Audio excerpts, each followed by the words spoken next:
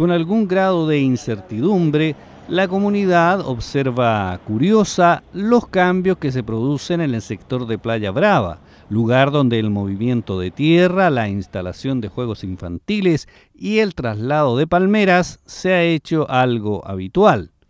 Lo último que se pudo observar es el retiro de las banderas de los países latinoamericanos que daban el nombre a la Plaza de las Américas, cuya fuente de agua y mapa aseguran no será modificada. Van a, ser reubicadas las banderas en el marco del hermoseamiento general global de todo lo que es el Parque Playa Brava, que se le agrega un tramo bien interesante y bien importante desde el punto de vista de extensión, que es desde la Poza de los Caballos hasta la Rotonda de Chipana. Eh, por tanto, es, eh, es una labor bastante importante que se está realizando allí.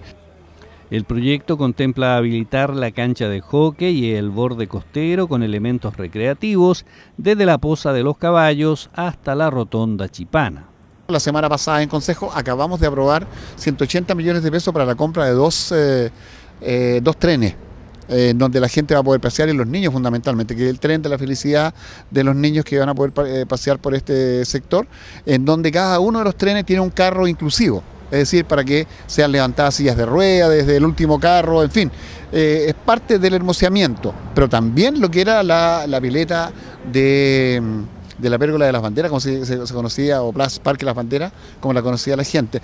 Porque ahí se mantiene la pileta misma, que es el mapa sudamericano. Frente a esas propuestas y proyectos surge la duda, crítica y desconfianza de los vecinos. La verdad, yo siempre he creído que acá se hacen trabajos sin terminar. Entonces el hecho de que todavía no terminen un parque que están haciendo un poquito más allá y ya no estén sacando otra cosa, a nosotros nos están prácticamente modificando todo lo que había anteriormente. Entonces si es reubicado para mejor, o sea, más visible, genial. Si no, considero que es innecesario. El otro día la pasé por acá y la estaban sacando, pero ahora que usted me dice que no la van a poner de nuevo, es fome porque es lo más llamativo de Iquique. La esperanza de algunos es que sea para mejorar el entorno, con críticas a la demora y el monto de la inversión. Del proyecto no, tengo conciencia de qué cosa se hacer, pero se ve trabajando. Yo creo que Iquique se está moviendo a nivel mm, hacia los interiores, las poblaciones.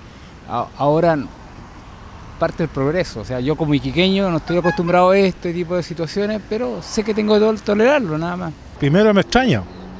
Segundo, la demora que llevan es excesiva. Y Veo que el avance es demasiado poco para la cantidad de millones que dicen por la radio, la televisión, los gastos que han tenido y no le veo objetivo a esta demora que tienen. Ahora no, no sé dónde van a quedar las banderas. El concejal Cisternas abunda en detalles del desarrollo y fines de este proyecto sea considerado como un parque de la integración latinoamericana, donde allí se inaugure, con participación de dignatarios de países vecinos, un busto que, que homenajee a Simón Bolívar como precursor y, padre, ¿no es cierto?, de la liberación latinoamericana, eh, que sea eh, varios países, Bolivia, Brasil, Perú, qué sé yo, que eh, la figura de Simón Bolívar homenajea y que justamente esta figura, este busto esté ubicado justamente en ese sector. Frente a las dudas de los vecinos, los trabajos continúan y a juicio del concejal, en julio se inaugura la cancha de hockey femenino junto a la realización de la Copa Davis y en noviembre los Juegos Bolivarianos de la Integración.